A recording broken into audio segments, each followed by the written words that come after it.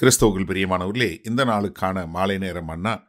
அப்போஸ்நாய பவுல் குருந்தி சபைக்கு எழுதிய இரண்டாம் நிருபம் மூன்றாம் அதிகாரம் மூன்றாவது வசனம். ரெண்டு குருந்தியர் மூன்று மூன்று டூ குருந்தியன்ஸ் த்ரீ த்ரீ. ஏனெனில் நீங்கள் எங்கள் ஊழியத்தினால் உண்டாகிய கிறிஸ்துவின் நிருபமாய் இருக்கிறீர்கள் என்று வெளியரங்கமாய் இருக்கிறது. அது மையினால் அல்ல ஜீவனுள்ள தேவனுடைய ஆவியினாலும் கற்பலைகளினால் அல்ல இருதயங்களாகிய சதையான பதைகள் பலகைகளிலுமே எழுதப்பட்டிருக்கிறது.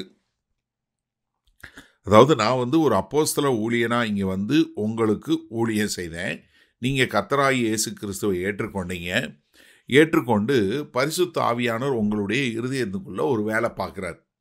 அதன் மூலமாய் உங்களுடைய வாழ்க்கை மாறுபடுகிறது. அந்த உங்களுடைய மாறுபட்ட வாழ்க்கை என்னவாக இருக்கிறது? அது மற்றவர்கள் படிக்கும் வண்ணமாக உங்கள் வாழ்க்கையை படிக்கக்கூடியதாக. இப்போ பழைய உடன்படிக்கையில் என்ன நடந்தது? கர்த்தர் பிரமாணங்களை எப்படி கொடுத்தாரு? மோசைக்கு கற்பலகையில் எழுதி கொடுத்தாரு. நம்ம யாத்திராகமும் இருபத்தி நாலாவது அதிகாரத்தில் பார்க்குறோம் முப்பத்தொன்று முப்பத்தி ரெண்டாவது அதிகாரத்தில் பார்க்குறோம். அங்கு கர்த்தர் ரெண்டு கற்பலைகளில் பத்து கற்பனைகளை எழுதி கொடுக்குறாரு. அந்த கற்பலைகளை மோசையை எடுத்து கொண்டு வருகிறார். அதன்படி அவர்கள் வாழ வேண்டும் என்று சொல்லக்கூடியதா? ஆனால் அவங்க வாழ்ந்தாங்களா? வாழலை. ஆனால் இப்போ அதை ஒப்பிட்டு பார்த்து என்ன சொல்கிறாரு இப்போ கற்பலைகள் இல்லை. இருதயங்களாகி உங்கள் சதையில் யார் எழுதுகிறா தேவ ஆவியானவர் எழுதுகிறார். இப்போ புதிய உடன்படிக்கை என்ன? நான் உங்களுக்கு கல்லான இருதயத்தை எடுத்துட்டு ஒரு சதையான இருதயத்தை வைத்து உங்களுடைய பிரமாணங்களை நான் உங்களுடைய இருதயங்களில் எழுதுவேன். நீங்கள் நான் உங்களுக்கு ஒரு நவமான ஆவியை கொடுப்பேன். உங்களுக்கு என்னுடைய பரிசுத்த ஆவியை கொடுப்பேன்.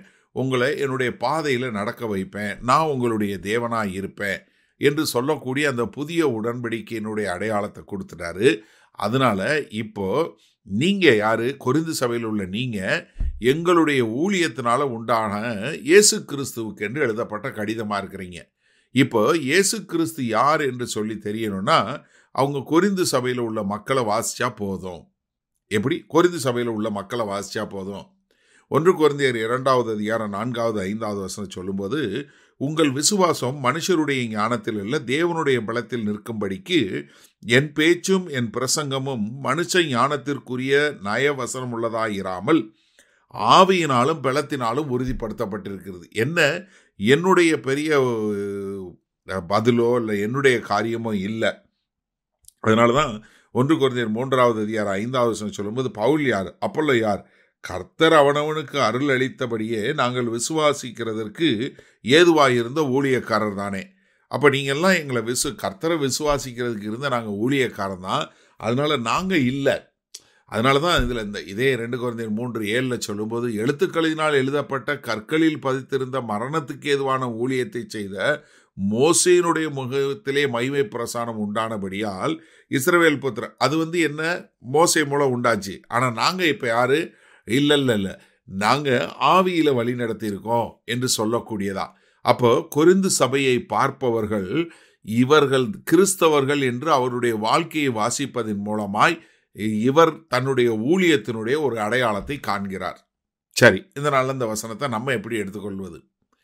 அதாவது எப்படி அப்போஸ்னாகிய பவுல் நான் ஒரு ஊழியக்காரங்கிறதுக்கு அடையாளம் இந்த சபையில் உள்ள மக்களுடைய வாழ்க்கை மற்றவர்கள் படித்து இயேசு கிறிஸ்து இன்னார் என்று அவர்கள் புரிந்து கொள்ளக்கூடியதாக வாழ்க்கை மாற்றப்பட்டிருக்கிறது. அதே மாதிரி தான் நம்மளுடைய வாழ்க்கை மாற்றப்பட்ட வாழ்க்கை தான் மற்றவர்களுக்கு இயேசு கிறிஸ்து யார் என்பதை எடுத்து காட்டும். எப்படி? நீங்களும் நானும் நம்மளுடைய மாறுபட்ட வாழ்க்கை என்ன காட்டும்? இயேசு கிறிஸ்து யார் என்று நம்மளுடைய வாழ்வை படிப்பவர்கள் சொல்ல முடியும். எப்படி? ஏங்க நீங்கள் என்ன நடந்தாலும் எப்படி அமைதியாக சாந்தமாக இருக்கிறீங்க? நீங்கள் எப்படி இவ்வளோ மனத்தாழ்மையாக இருக்கிறீங்க? உங்களுக்கு என்ன நடந்தாலும் நீங்கள் ஏன் கோவப்படாமல் அமைதியாக பேசுகிறீங்க எப்படி உங்களுக்கு இவ்வளவு நம்பிக்கை எல்லா பக்கத்துலேயும் ஒரே பிரச்சனையாக இருக்கும்போது இவ்வளோ போராட்டம் இருக்கும்போதும் நீங்கள் எப்படி இவ்வளோ சந்தோஷமாக இருக்கிறீங்க? நீங்கள் எப்படி இவ்வளோ கனிவாக உங்கள் மனைவியை நேசிக்கிறீங்க? எப்படி நீங்கள் உங்களுடைய கணவனுக்கு கீழ்ப்படிந்து வாழுகிறீங்க? எப்படி நீங்கள் உங்கள் பிள்ளைகளை இவ்வளோ அன்பாக வழி நடத்துகிறீங்க இப்படி உங்களுடைய அன்றாட வாழ்க்கையில் நீங்கள் உங்கள் கணவன் மேல் கணவனுக்கு கீழ்ப்படிவது மனைவியை நேசிப்பது பிள்ளைகளை அன்பிலும் பொறுமையிலும் எல்லாவற்றிலும் வழிநடத்துவது இது எல்லாம் என்ன காட்டுகிறது? நீங்கள் கிறிஸ்தவர்கள் என்று காட்டுகிறது.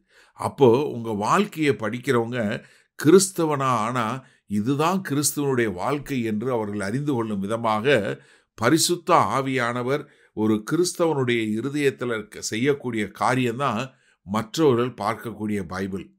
எனக்கு அருமையானவர்களே நீங்கள் தான் ஆண்டவரை அறியாதவர்கள் படிக்கிற பைபிள். உங்கள் வாழ்க்கை எப்படி இருக்குது ஒரு நிமிஷம் சிந்திச்சு பாருங்க.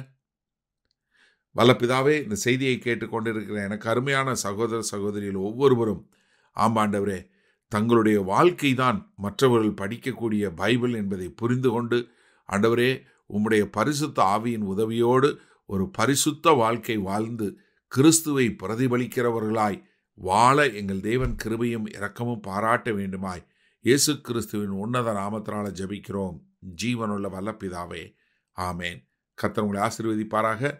நாம் நாளை காலை தினசரி தியானத்தில் சந்திப்போம்.